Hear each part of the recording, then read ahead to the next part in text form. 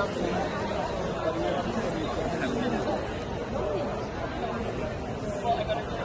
um, so good to see you, Ryan. Yeah, thank you. I, oops, sorry.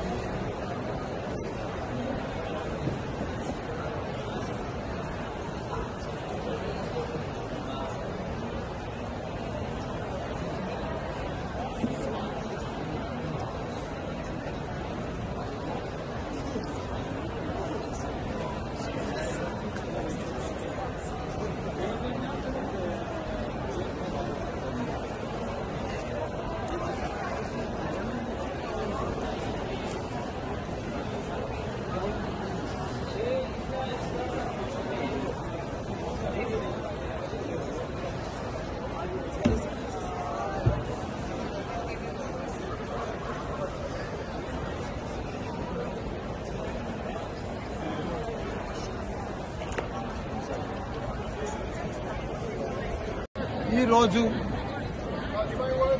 మన అమెరికాలో ప్రపంచంలో Japan కానీ China కానీ పోర్చుగల్ కానీ ఇండియా కానీ ఉన్న ప్రపంచంలో ఉన్న అన్ని కంట్రీ దేశాలకు వెళ్ళి ఇక్కడ ప్రతి ఒక్క వాళ్ళ వాళ్ళ యూనివర్సిటీ నుంచి ఇక్కడ అందరు కూడా వాళ్ళ వాళ్ళ యూనివర్సిటీ ప్రొఫైల్ కానీ వాళ్ళ ప్రజెంటేషన్ అందరికీ అన్ని యూనివర్సిటీలు ప్రపంచంలో ఉన్న పెద్ద యూనివర్సిటీలన్నీ కూడా ఇక్కడ వాళ్ళు వాళ్ళకి స్టాల్ పెట్టుకొని ప్రజెంట్ చేస్తున్నారు. చాలా సంతోషం. ఇందులో మన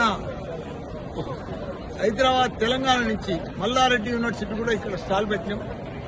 మాకు కూడా చాలా హ్యాపీ అనిపిస్తుంది. ఎందుకంటే ప్రపంచంలో చాలా యూనివర్సిటీలతో ఎక్స్చేంజ్ ఆఫర్స్ కానీ త్రీ ప్లస్ వన్ కానీ టూ ప్లస్ టూ కానీ కోర్సెస్ మంచి మంచి కోర్సెస్ కానీ ప్రపంచం న్యూ ఎడ్యుకేషన్ పాలసీలో ప్రపంచంలో ఉన్న కొత్త కొత్త కోర్సులు కూడా మన మల్లారెడ్డి యూనివర్సిటీలో తీసుకురావాలి.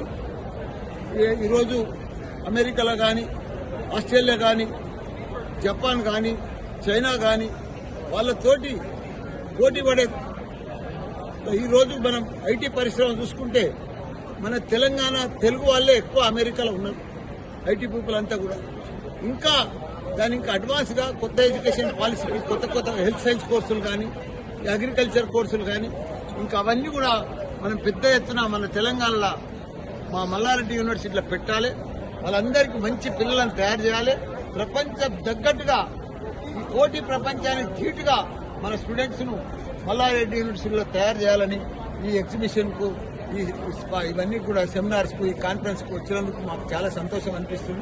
తప్పకుండా అమెరికా తర్వాత మన హైదరాబాదే నెంబర్ వన్ అవుతుంది ఎడ్యుకేషన్లో ఇప్పటికే మన తెలుగు వాళ్ళు అమెరికా అంతటా కూడా గొప్పగా చదివి ఐటీ పీపుల్ అంటే అమెరికాలో ఉన్న వాళ్ళంటే మన తెలుగు వాళ్ళు.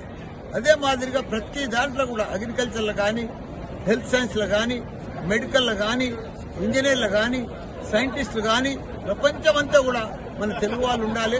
అదే తప్పనతోటి న్యూ ఎడ్యుకేషన్ పాలసీ కోసం